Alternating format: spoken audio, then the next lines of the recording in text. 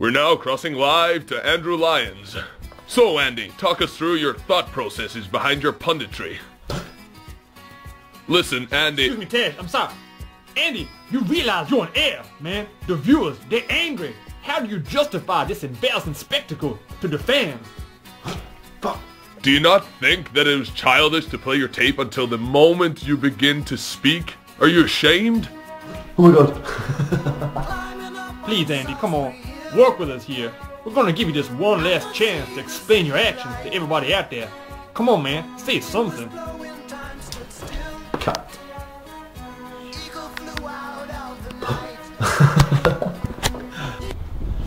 Ode to the shadow. Seek him here, you seek him there. You seek the shadow everywhere. Is he fat? Is he tall? Is he short? Is he small? These are things we do not know. We've never met the shadow.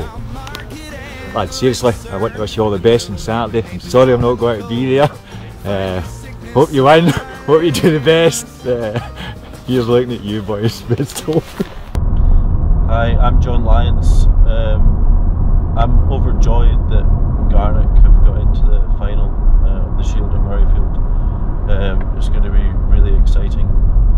Um, unfortunately, I can't play because I'm injured.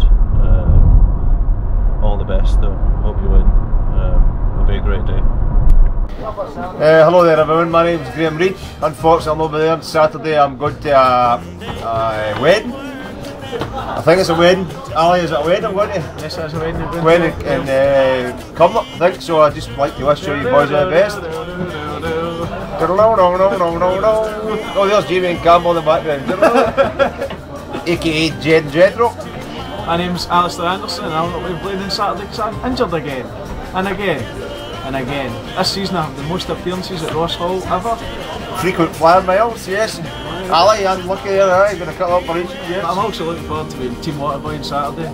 Best Waterboy the club's ever had. Charge of hydration. Can you whack it? Can't Ali. Graham, that's the best, boys. Yes, all the best, boys. Shut up. I'd like to thank all the well wishers for coming to Murrayfield to support us, eh? And Coach Glenn, wow, what a coach. The best coach between Beith and Dalry in the Lochshore Industrial Stadium I've ever seen. Yeah, yeah, what do you think, Eddie? Obviously, Tash, he's been a difficult man to track down, but I'm out to catch up with him at the hotel lobby. We, we talked over a number of things, but unfortunately, we took a number of substances, so I can't really recall much of the conversation. Uh, okay, but uh, yeah, we got an exclusive interview anyway. Here we go. Right, Kenny. So, how does it feel being uh, coach of the the team that's in the Shield final for the second year running? Oh, again, it's, it's outstanding, absolutely brilliant. Boys deserve everything they've got. So, your real name is Kenny Glenn. Yes, why? That's good. Um, and would you prefer Kendo, Yes. or even would you be more comfortable with Kendo? That's my name, yes. So, Kendo. Certain squad members have been carried this season. Yes, why? Could you specifically say who you're looking to replace next season? Gavin, probably. Paul, probably. Is that your natural hair colour? No. So we've talked about who who's lacking the skills. Um, could you tell us who you thought were the, the player or players of the season? It will be impossible for me to separate Ross Miller, Fraser Thompson and Stuart Chuckleton, who frankly guided this team to every success we have had. Without them, I would never be confident of a single victory this year. As a coach, it has been a particular delight to observe the array of skills these players have displayed, especially the unselfish playmaking of Ross Miller. I only wish that Stuart Chucklevision could find the courage to make an occasional tackle. So, to recap, my trio of the season is Ross, Fraser, and Chuck. Uh, right, well thanks very much and hope we do well today. Cheers. Good luck, guys. Kenny Glenn, what what a man, Tash. I was Tash, man, on air. Oh, yeah, yeah, yeah. You know, that's exactly what Kenny was saying to me last night. You know, it. incredible man. Oh, what a legend, Kenny Glenn, legend. Everyone down at Garnock, legends. Actually, Tash, I'm gonna stop you there. You put some disturbing accusations on a certain individual at Garnock Rugby Club, and you know, I don't like to bring this kind of thing up on air, but I think it's important that everybody should see this. Thanks, man. I hate him. Chucky. Dude. Chucky, I absolutely hate him. He smells really badly and he just I just despise him. He's just terrible rugby as well. He's like describe how badly I hate him. It's disgusting. I want to spit right now. That's how much I hate him. That's how bad he is. Okay? Just can't stand him. He's always cheery. Oh, it makes me feel sick thinking about him. Like, what? what?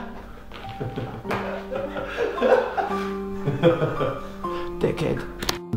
I've been pretending to like Chucky for years, but I can't stand him. He's far too rough at training. Needs to learn to calm down. I hate him.